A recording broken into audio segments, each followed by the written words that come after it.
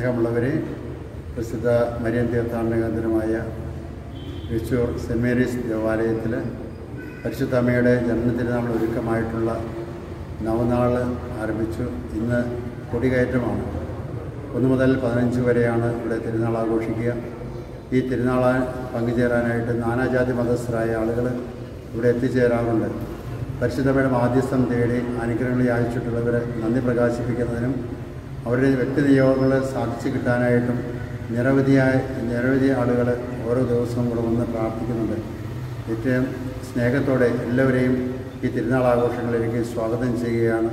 പരിശുദ്ധമ്മയുടെ മാധ്യസ്ഥം എല്ലാവരും കൂടെ ഉണ്ടാകട്ടെ എന്ന് പ്രത്യേകമായിട്ട് പ്രാർത്ഥിക്കുകയും ചെയ്യുന്നു.